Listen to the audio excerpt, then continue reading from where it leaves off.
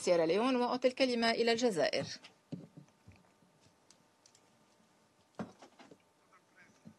السيدة الرئيسة. مجددا. باسم العرب ومنظمة التعاون الإسلامي وحركة عدم الانحياز. وباسم كل الدول الأعضاء المحبة للسلام.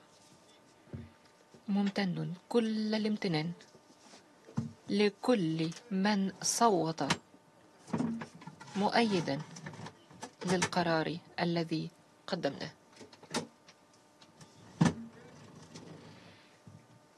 الدعم الهائل لطلب فلسطين للحصول على العضوية إنما يوجه رسالة واضحة لا لبس فيها وهي أن دولة فلسطين تستحق مكانها المستحق بين أعضاء الأمم المتحدة.